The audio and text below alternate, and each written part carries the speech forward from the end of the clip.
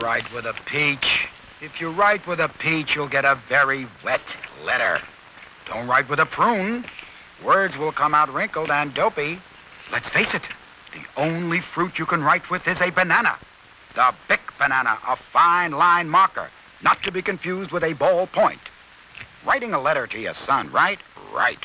Usually you write, Dear son, how are you? I'm fine. Write that same letter with a Bic banana, and you get, Dear Sonny, I miss your face. Mum.